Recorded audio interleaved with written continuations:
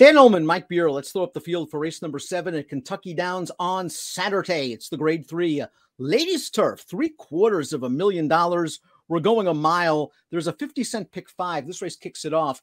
14% takeout on the 50 cent pick five at Kentucky Downs on Saturday. Princess Grace comes off a triple digit Beyer's score for the Mike Stidham barn at Del Mar. She's only lost once, and that was in a really good effort in the Valley View. Yeah, I mean she's she's the horse to beat in here. Her her form is is very good overall. Um, and she comes off of a really nice win last time. I mean, all in all, she got a really good trip, but she only got that trip because she was able to hold her position when it counted. Um, and then once she came clear, she was there very adaptable from a pace standpoint as well. Timeform US believes the pace will be fast. I tend to agree. And uh, Princess Grace likely will be coming from mid pack or further behind. Shifty She, the six, has shown speed. She was up front in Saratoga last time out. Not sure about Princess Causeway and Sarah C as true leaders. I know that they can be close. The key to this race from a pace standpoint is what does Dalika do? She's shown huge speed going longer distances. Now she cuts back. Al Stall tells me you can't fight her. Just have to let her do what she wants. Uh, yeah, we'll see if you know getting cut back a, a little bit in distance here, uh, back to a mile, um, lets this field maybe get away from her a little bit early so she can settle. Because um, if the paces are slow, it feels like they have a tough time controlling her. Sarah C, the number one, can be close to the pace, but she's two for 30 lifetime. And she's going to be stepping into the stakes ranks for only the third time in her career. She was beaten four lengths in the prep race, the preview at Ellis Park, and she didn't have a great trip that day. Yeah, she didn't. Um, you know, I don't know if I necessarily would agree with the uh, checked hard comment. Um, she certainly studied a little bit there. I don't think it necessarily cost her the race. What cost her the race probably is that she was well at the back of that field in a race where the one-two finishers dominated on the lead and nobody else had any chance. Um, she didn't run poorly last time. If you go back to that mile turf race, the first time she was on turf in April, she ran pretty well there, Dan. She got control of that pace, but the horse that ran her down is nice. Princess Grace, the number two, has won five of six, three in a row, including this race, the grade two yellow ribbon. She got a great trip and setup, fast pace. She was able to split horses, find a great seam, and made a decisive move. But once she found the seam, look how quickly she bursts clear of the other horses. That was the winning move. She has push button acceleration. She earned a 102 Beyer. Yeah, liked the way she finished it off. Again, liked the way that around the turn there, right before we picked up the replay, she was in some traffic and just had to hold her position until it opened up for her. And once it opened up for her, she was there and she really finished well in there. She's the horse to beat. I am a huge fan of Abscond. I think she's been knocking on the door. She already is a grade one stakes winner. She won the Natalma up in Canada as a two year old. Almost got it done last time out for me in the Nassau. Let's watch that race. One turn mile at Woodbine. Jolie Olympica just had control of this. Turning into the stretch, he got up close to a moderate pace. The class master from Southern California takes the lead. Abscond's going to try really hard from the back of the pack, and her rally's just going to fall a little short.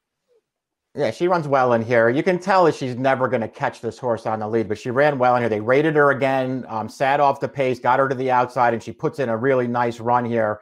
Um, boy, you've been following this horse for a long time. Um, I the more I looked at this race, Dan, the more I kind of hope you stuck with her. I feel like she's a big player in this race. Querelli, the number four, third last time out, an optional claimer going a mile on the turf. She's run well sprinting. She's run well going long. Another horse that's adaptable to the pace standpoint. She goes out for high percentage Southern California based trainer Peter Miller. Uh, yeah, we'll see what she does. I don't know. I didn't really know what to make of her, Dan. Her races are fine. It feels like when you start taking her form apart, that she might be better sprinting than she is routing. I, I don't know. Um, she's going to be a pricing so I'm not going to knock her, but I couldn't talk myself into her. Want a hot horse? How about the five? She's on the warpath. She is on the warpath. She's won her last two, including the preview race for this on August the 8th. Let's watch that race right now. She's on the warpath, takes advantage of a really fast pace up front, but she comes with an extremely solid kick to get up to win with an 89 Beyer speed figure. Now, maybe she has to run a little bit faster if she's going to win this race, but she ran very well in this race last year over soft going. I thought she went for home very early in that race, and it might have cost her. She ran second to a big closer in English Affair. Yeah, that's true. Um, she's probably underrated. I, I, would say I would put it that way. And you know, she took advantage of a really fast pace last time, but she doesn't need that trip. She can sit closer if she has to. So I think you have to like those things about her. Um, you know, listen, she's beaten Dominga in her last two starts. Dominga would be a pretty big price in this race, so she's clearly stepping up in class. Shifty She has won five of eight. She still has some upside potential. She gave it a good try last time out at Saratoga yeah. in the De La Rose. Saffie Joseph was ice cold at the time. Shifty She tried to spurt clear, got a very nice ride from Irad, uh, tried to put the race away at the right point, but Hendy Woods is a solid horse, is eventually going to run her down. And then you're going to see Regal Glory, a really nice horse, run her down. She might have run the fourth best race because Viadera, who was fourth, had some trouble in upper stretch. I think that's probably true. Um, this is just a really um, strong field that she faced, even though it's a restricted stakes race.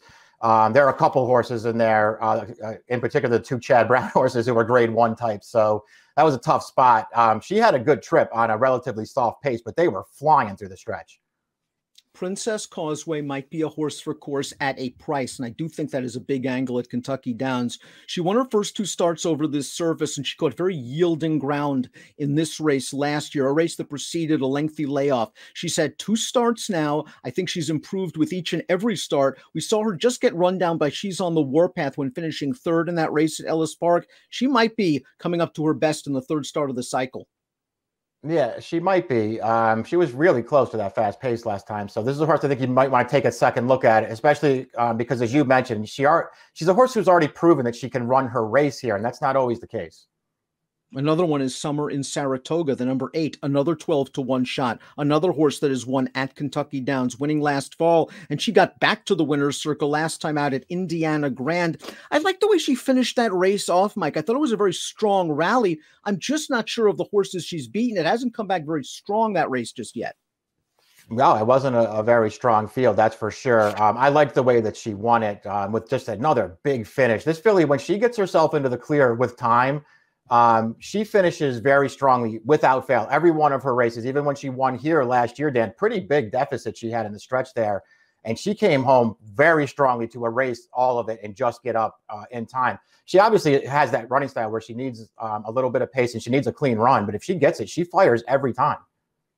Drop in class, drop in distance for the nine Dalika, who was in against War Like Goddess probably the best longer distance turf female in the country right now. And listen, Dalika tried to win it the way she, the only way she could. Opened up a big lead on the backstretch, tried to hold on. She tired pretty badly in that race. Her prior race, uh, going long at Delaware, I thought was a really good effort because she was involved in a solid pace from the start uh, with a horse that ended up finishing last, put that one away, and then held off the closer. She's obviously good enough to win this race. Do you think she's better going longer, though?